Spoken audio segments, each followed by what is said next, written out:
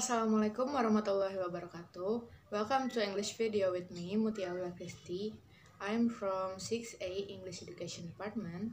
Culture is very closely with our society. In other country, there must be a culture that has its own identity that can be developed and preserved.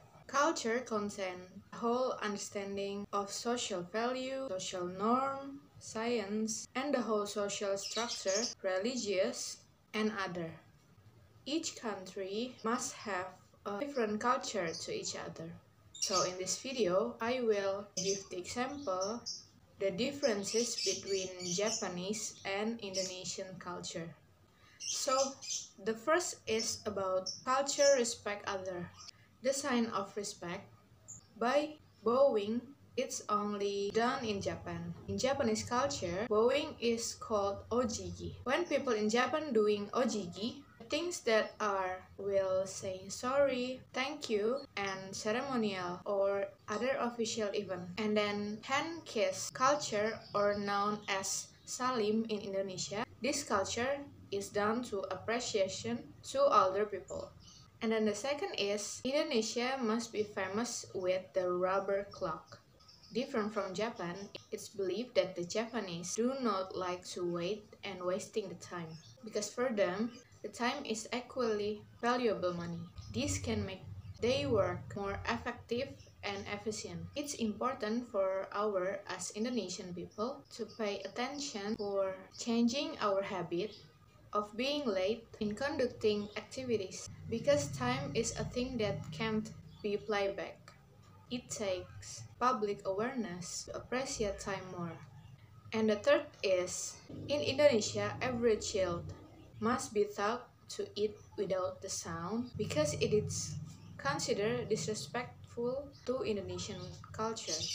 Directly proportional to the Japanese people when they are eating, especially if they eating soup or ramen, with a voice, it will show a sense of pleasure of likeness soup dish that they have been made and shown respect to the maker of the food. And then in Japanese culture, it is taught to say itadakimasu before we eating.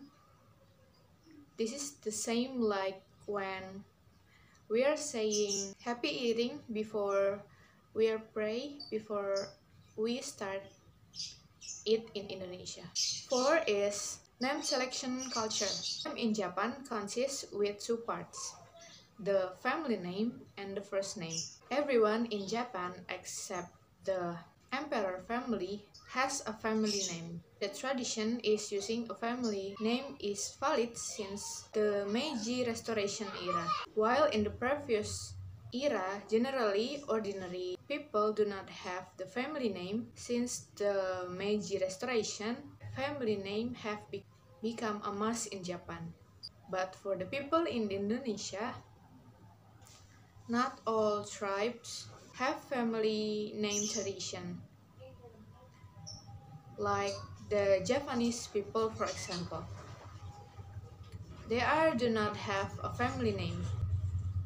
But the tribe in Sumatra, Kalimantan, and Sulawesi maybe have a family name. From a person name, we can estimate which tribe they are coming from and what the religion they are from and so on. And for the last is about the culture in transportation. In Indonesia is famous for the density of public transportation and traffic density. Many people are fleeing when going to ride the public transportation, there are often traffic jam that can make people impatient.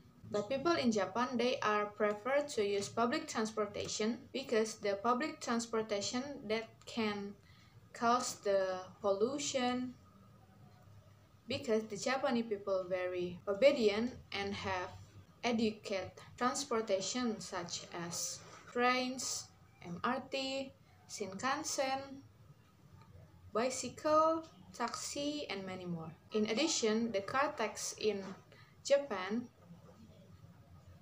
are much higher than Indonesia. That's why it, uh, that's why the Japanese people prefer to use public transportation compared to other private transportation because transportation in Japan is safer while public transportation in Indonesia is still less organized and less aware of the importance of public transportation.